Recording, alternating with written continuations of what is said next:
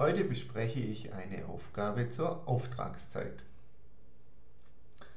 Für die Aufgabe sind verschiedene Vorgaben bzw. Variablen gegeben.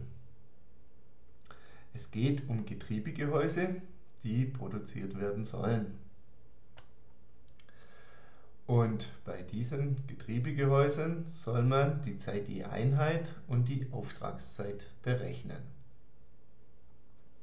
Fangen wir mit der Zeit je Einheit an.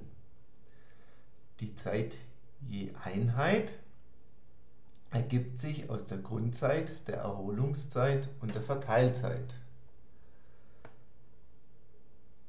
Da wir die Grundzeit noch nicht gegeben haben, versuchen wir zuerst die Grundzeit zu berechnen. Für die Grundzeit brauche ich die Tätigkeitszeit. Und die Tätigkeitszeit berechnet sich aus der unbeeinflussbaren Tätigkeitszeit und der beeinflussbaren Tätigkeitszeit. In unserem Fall 28 plus 50 Minuten pro Stück ergibt 78 Minuten pro Stück. Für die Grundzeit benötigen wir noch die Wartezeit. Die Wartezeit ist in der Aufgabe gegeben. Deshalb 78 Minuten plus 2 Minuten Wartezeit ergibt 80 Minuten pro Stück Grundzeit. Jetzt können wir die Zeit je Einheit berechnen, denn die berechnet sich aus der Grundzeit plus der Erholungszeit plus der Verteilzeit. 80 Minuten ist unsere Grundzeit. Für die Erholungszeit haben wir einen Erholungszeitzuschlag für das Ausführen und wir haben einen Verteilzeitzuschlag für das Ausführen. Mit diesen Zuschlagsätzen können wir die jeweiligen Zeiten berechnen. In unserem Beispiel für die Erholungszeit 5 geteilt durch 100, damit wir die 5% haben, mal 80 der Grundzeit ist gleich 4 Minuten.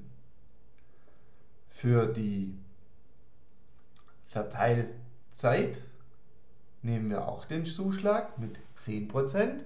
10 geteilt durch 100 mal 80 ergibt 8 Minuten pro Stück, die dazukommen.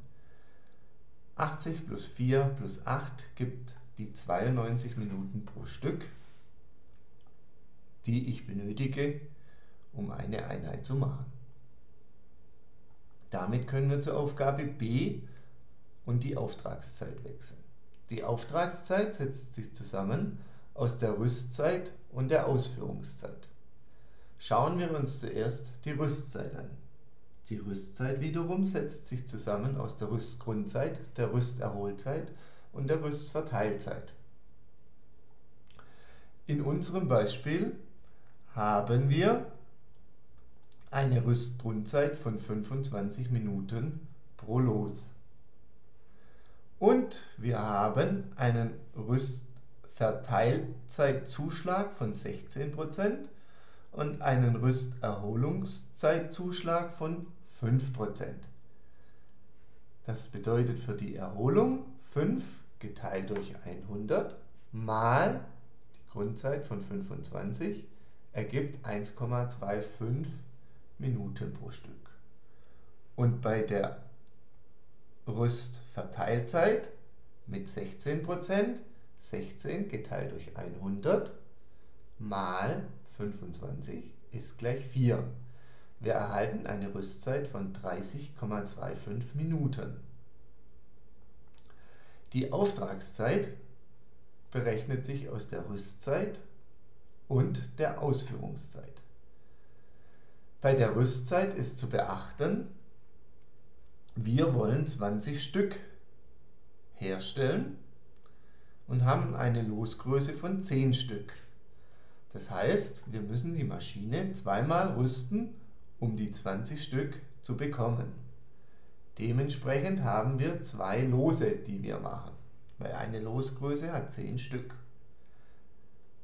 30,25 mal 2 plus die 92 Minuten pro Stück haben wir uns bei A errechnet, mal 20 Stück wollen wir produzieren und das zusammengerechnet ergibt 1900,5 Minuten für den Auftrag.